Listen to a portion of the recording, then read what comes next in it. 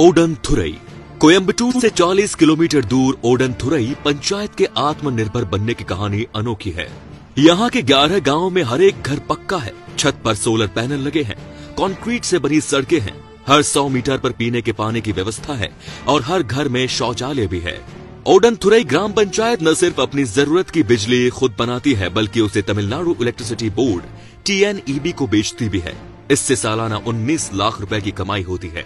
ऐसा करने वाली ये देश की एकमात्र पंचायत है। सभी घरों में बिजली मुफ़्त है।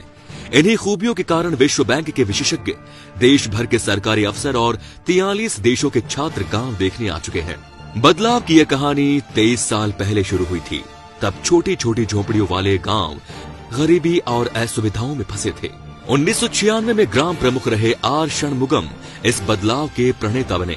वे बताते हैं उस वक्त हर महीने पंचायत का बिजली बिल दो हज़ार रूपए आता था। अगले एक साल में पंचायत में कुएँ बनवाए स्ट्रीट लाइट लगवाई तो ये बिल पचास हज़ार रूपए पहुँच गया, जिसने चिंता बढ़ा दी।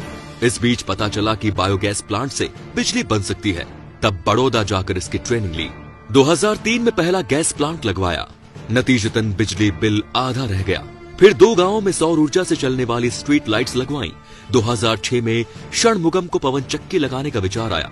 लेकिन पंचायत के पास सिर्फ़ 40 लाख रुपए का रिज़र्व फंड था, जबकि पवन चक्की टरबाइन एक दशमलव पचपन करोड़ रुपए की थी। षणमुगम ने पंचायत के नाम पर बैंक से लोन लेकर ओडन थुरई से 110 किलोमीटर दूर साढ़े तीन सौ किलोवाट की पवन चक्की लगवाई। इसकी मदद से पूरा गाँव बिजली के मामले में आत्मनिर्भर हो गया। लेकिन पंचायत के शेष दस गाँवों के लोग अब भी राज्य बिजली बोर्ड पर निर्भर थे। तब षणमुगम ने एकीकृत सौर और पवन ऊर्जा प्रणाली अपनाई। हर घर की छत पर सोलर पैनल लगवाए गए। घरों में दिन में बिजली सोलर पैनल से मिलती है और रात में पवन चक्की से।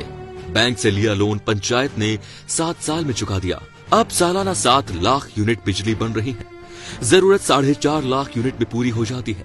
बची ढाई लाख यूनिट टीएनईबी को तीन रूपए प्रति यूनिट पर बेच दी जाती है। बिजली में आत्मनिर्भर होने पर गाँव की तरक्की के और भी रास्ते खुल गए हैं। आज पंचायत बिजली बिक्री से लगभग 19 लाख रुपए सालाना कमाती है। ये राशि 11 गाँवों के विकास में खर्च होती है। राज्य सरकार की solar powered green house scheme के तहत 950 घर बनवाए गए हैं।